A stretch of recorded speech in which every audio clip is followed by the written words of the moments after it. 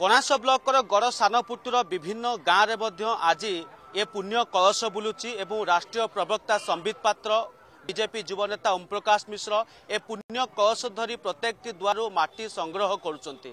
ଆଲୋଚନା କରିବା ଆମ ସହିତ ମଧ୍ୟ ସମ୍ବିତ ପାତ୍ର ରହିଛନ୍ତି। ସାର୍ ବାସ୍ତବରେ ଆପଣଙ୍କୁ ଲଗାତାର ଭାବରେ ପୁରୀ ଜିଲ୍ଲାର ବିଭିନ୍ନ ଅଞ୍ଚଳରେ ଆପଣ ମଧ୍ୟ ଏ କାର୍ଯ୍ୟକ୍ରମକୁ ଜାରି ରଖିଛନ୍ତି। ମୋ ଦେଶ ମୋ ମାଟି କାର୍ଯ୍ୟକ୍ରମ। ଯେ ବାସ୍ତବରେ ଲୋକଙ୍କ ସମର୍ଥନ ବିପୁଳ ସମର୍ଥନ ମଧ୍ୟ ଦେଖୁଛନ୍ତି ଯେ ଆଜି ଏ କଣାସ ଅଞ୍ଚଳର ସାନପୁଟୁ ଅଞ୍ଚଳକୁ ଆସିଛନ୍ତି। ଲୋକଙ୍କ ସମର୍ଥନ କେମିତି ଦେଖୁଛନ୍ତି? ଆଉ ଲୋକଙ୍କ ପାଇଁ ବାର୍ତ୍ତା କ'ଣ ରହିବ? ଯେ ବାସ୍ତବରେ ଇଏ କାର୍ଯ୍ୟକ୍ରମ କ'ଣ ଉଦ୍ଦେଶ୍ୟ ଲକ୍ଷ୍ୟ ଦେଖନ୍ତୁ ଆଜ୍ଞା ଆପଣ ସମସ୍ତେ ଜାଣିଛନ୍ତି ଆମ ଦେଶ ପାଇଁ ଅନେକ ଆମର ବୀର ଶହୀଦ ହେଇଛନ୍ତି। এই ବୀରମାନଙ୍କୁ ବନ୍ଦନ କରିବାକୁ ଏ ବୀରମାନଙ୍କୁ ନମନ କରିବା ପାଇଁ ଆମର ସତ୍ୟବାଦୀ ଅଞ୍ଚଳର ଯେଉଁ କଣାସ ବ୍ଲକକୁ ଆଜି ଆମେ ଆସିଛୁ। ଯଶସ୍ୱୀ ପ୍ରଧାନମନ୍ତ୍ରୀ ନରେନ୍ଦ୍ର ମୋଦିଙ୍କର ଇଚ୍ଛା କି ସମଗ୍ର ଭାରତରୁ ଆମେ ବୀର ମାଟି ସଂଗ୍ରହ କରିକି ଏଇ ମାଟିକୁ ନେଇକି ଆମେ ଦିଲ୍ଲୀ ଯିବା। ଦିଲ୍ଲୀରେ ଯେଉଁ କର- କର୍ତ୍ତବ୍ୟ ପଥରେ ଯେଉଁ ଅମୃତ ବାଟିକା ତିଆରି ହେବ ବୀରମାନଙ୍କ ପାଇଁ ସେ ଅମୃତ ବାଟିକାରେ ଏ ପୁଣ୍ୟ ମାଟି କାମ ଆସିବ। ଇଏ ହେଉଛି ଗୋପବନ୍ଧୁଙ୍କ ମାଟି। ଏ ମାଟି ସାଧାରଣ ମାଟି ନୁହେଁ।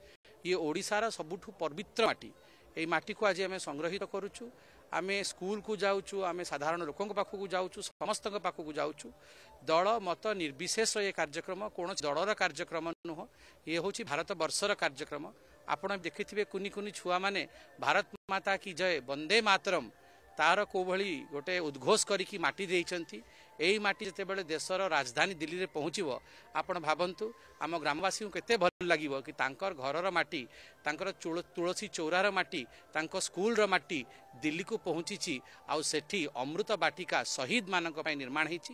ଆଜି ମୋ ସାଙ୍ଗରେ ଆମ ଅଞ୍ଚଳର ନେତା ମାନନୀୟ ଓମ୍ ପ୍ରକାଶ ମିଶ୍ର ମହୋଦୟ ଅନ୍ୟ ନେତାଗଣ ମଧ୍ୟ ଅଛନ୍ତି ସାଧାରଣ ଲୋକ ମଧ୍ୟ ଅଛନ୍ତି ସମସ୍ତେ ଗୋଟେ ନୂତନ ଉର୍ଜାରେ ଓତପ୍ରୋତ ହେଇକି ଆଜି ଭାରତ ବର୍ଷ ପାଇଁ ଆଗକୁ ବଢୁଛନ୍ତି। ପ୍ରଧାନମନ୍ତ୍ରୀ ମୋ ମାଟି ମୋ ଦେଶ କାର୍ଯ୍ୟକ୍ରମକୁ ଆରମ୍ଭ କଲେ। ଦଳଗତ ନିର୍ବିଶେଷରେ ଆମେ ଦେଖୁଛେ ସମସ୍ତେ ମଧ୍ୟ ଆପଣଙ୍କ ସାଥିରେ ବୁଲୁଛନ୍ତି। ଆଉ ଇଏ ପୁଣ୍ୟ କଳସରେ ଟିକେ ମାଟି ପକାଇଲେ ସମସ୍ତଙ୍କ ମନ ଯେମିତି ଆନନ୍ଦରେ ଉଲ୍ଲାସିତ ହେଉଛି। ତା ସହିତ କୁନି କୁନି ପିଲାଙ୍କ ସହିତ ମଧ୍ୟ ଆପଣ ମିଶିଲେ। ମାହୋଲ କେତେ ଦେଖୁଛନ୍ତି କେମିତି? ଦେଖନ୍ତୁ ଆଜ୍ଞା ଦେଶ ପାଇଁ ଗୋଟେ ନୂତନ ମାହୋଲ ନିର୍ମିତ ହେଇଛି। ଯେଉଁଭଳି ଭାବେ ଭାରତ ସର୍ଜିକାଲ ଷ୍ଟ୍ରାଇକ୍ କଲା ପାକିସ୍ତାନ ଉପରେ ଯେଉଁଭଳି ଭାବେ ଭାରତବର୍ଷ ଏୟାର ଷ୍ଟ୍ରାଇକ୍ କଲା ପାକିସ୍ତାନ ଉପରେ ଆଜି ଯେଉଁଭଳି ଭାବେ ଭାରତବର୍ଷ ସମଗ୍ର ବିଶ୍ୱ ପଟଳରେ ଛିଡ଼ା ହେଇଛି ଏ ଭାରତବର୍ଷ ପାଇଁ ଗୋଟେ ନୂତନ ଅଧ୍ୟାୟ। ସ୍ୱାଭାବିକ ଭାବରେ ଆଜି ଯେତେବେଳେ ମାଟି ସଂଗ୍ରହିତ ହେଉଛି ଆଉ ଦେଖନ୍ତୁ ଏ ମାଟି ହେଉଛି ଗୋପବନ୍ଧୁଙ୍କ ମାଟି ଆମର ଓଡ଼ିଶାର ମହାତ୍ମା ଗାନ୍ଧୀ ସିଏ। ଯେତେବେଳେ ତାଙ୍କର ମାଟି ଆମେ ସଂଗ୍ରହିତ କରିକି ନେଇକି ଯାଉଛୁ ଏଠି ସମସ୍ତଙ୍କ ମନ ଭିତରେ ବହୁତ ଗୋଟେ ଆ, ଉର୍ଜାର ମାହୋଲ ଅଛି। ସମସ୍ତେ ବହୁତ ଖୁସି ଅଛନ୍ତି ଆଉ ସମସ୍ତେ ଚାହୁଁଛନ୍ତି କି ଯେମିତି ହେଲେ ଟିକେ ମାଟି ଆମେ ଆମର ଅଗଣାରୁ ମଧ୍ୟ ଦେବୁ। ମା ମାନଙ୍କୁ ଯେମିତି ଏ ବିଷୟ ଜଣାପଡ଼ୁଛି ଦୌଡ଼ିକି ମା ମାନେ ଘରକୁ ଯାଉଛନ୍ତି।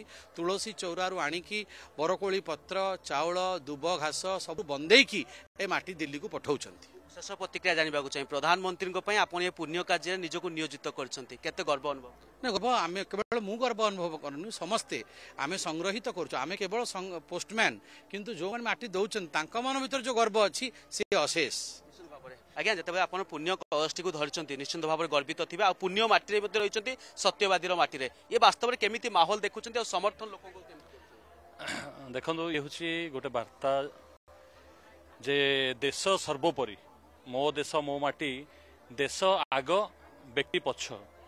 ଏ କଥାର ବାର୍ତ୍ତା ଯେଉଁ କଥା ଦେଇଛନ୍ତି ଆମର ପ୍ରିୟ ପ୍ରଧାନମନ୍ତ୍ରୀ ଦେଇଛନ୍ତି ସେ କଥାକୁ ଇଏ ଆଜି ଗଡ଼ ସାନପୁଟ ହେଉଛି ମୋର ଜନ୍ମ ମାଟି। ଏଠି ମୁଁ ଆଜି ବହୁତ ଆନନ୍ଦିତ ବହୁତ ଉଲ୍ଲାସିତ। ଯେତେବେଳେ ଘର ଘର ବୁଲିକି ଯେତେବେଳେ ମାଟି ସଂଗ୍ରହ କରୁଛୁ ସମସ୍ତେ ଦଳଗତ ନିର୍ବିଶେଷରେ ସମସ୍ତେ ଗୋଟେ ସ୍ୱାଗତ କରୁଛନ୍ତି ଯେ ନାଇଁ ଆମ ଗାଁ ଆମ ମାଟି ଆମ ପୁଅ ଆସିଛି ନବା ପାଇଁ।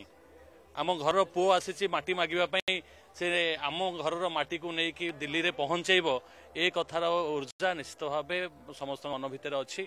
ଏବଂ ସମସ୍ତଙ୍କ ଭିତରେ ଯେଉଁ ଅ, ଖୁସି ଉନ୍ମାଦନା ଯାହା ଲକ୍ଷ୍ୟ କରୁଛୁ ବହୁତ ଆନନ୍ଦ ଲାଗୁଛି। ଆଜି କେତୋଟି ଗାଁକୁ ଆପଣ ପରିଦ- ବା- ବୁଲି- ଗଲେ ଏବଂ କେତୋଟି ଗାଁରୁ ମାଟି ସଂଗ୍ରହ କରିଛନ୍ତି? ଆଗାମୀ ଦିନରେ କେଉଁ କେଉଁ ଅଞ୍ଚଳରେ ମଧ୍ୟ ଏ ସତ୍ୟବାଦୀ ନିର୍ବାଚନ ମଣ୍ଡଳୀ ଆପଣ ଜାଣିଛନ୍ତି ଇଏ ହେଉଛି ଗୋଟେ ଅ, ବୀର ମାଟି ଗଡ଼ ମା- ସାନପୁଟ ଏ ବଡ଼ପୁଟ ଇଏ ବି ହେଉଛି ଗୋଟେ ବୀର ମାଟି ପବିତ୍ର ମାଟି ଆମେ କଣ୍ଟାବଣିଆଠୁ ଆରମ୍ଭ କରି ଆମେ କଣ୍ଟାବଣିଆ ଛୋଟି ଛୋଟି ଯୋଡ଼ି ଆ, ଟିମେଇପୁର କରିକି ଏବେ ହଳଦିଆପଡ଼ାରେ ପହଞ୍ଚିଛୁ ଏବଂ ଏ ମାଟି ସଂଗ୍ରହ ହଳଦିଆପଡ଼ା ଆଜିର ଦିନରେ ହଳଦିଆପଡ଼ାଠୁ ଆରମ୍ଭ କରି ଲୋକାପାଳ ଢୋଲପାଟନା ଆ, ଆପଣଙ୍କର ଗଡ଼ ସାନପୁଟ ମୋଟୋରି ମ- ଝାରକଟା ଆମର ଯେ ଅ, ଶହୀଦ ହେଇଛନ୍ତି ଆମର ଅ, ମ- ମନୋଜ ପଟ୍ଟନାୟକ ମନୋଜ ପଟ୍ଟନାୟକ ତାଙ୍କର ଶହୀଦ ଷ୍ଟାଚ୍ୟୁରେ ଆଜି ପୁଷ୍ପମାଲ୍ୟ ଦେବାର ଅଛି ସେ କାର୍ଯ୍ୟକ୍ରମ ବି ସେଠି ଅଛି ସେ ଗାଁ ଗାଁର ସମସ୍ତ ଲୋକ ଅପେକ୍ଷା କରିଛନ୍ତି ଯେ ସେ ବୀର ମାଟିରୁ ମାଟି ସଂଗ୍ରହ କରିବୁ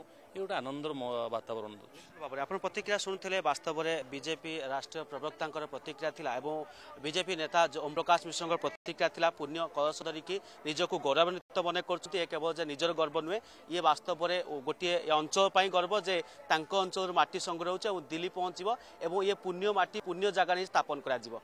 କାଶରୁ କାଳୁଚରଣ ସାହୁ ଅର୍ଗସ୍ ନ୍ୟୁଜ୍। जदि आपण को आम भिडी भल लगा तेब आम चेल्क लाइक सेयार और सब्सक्राइब करने को जमा भी भूलु ना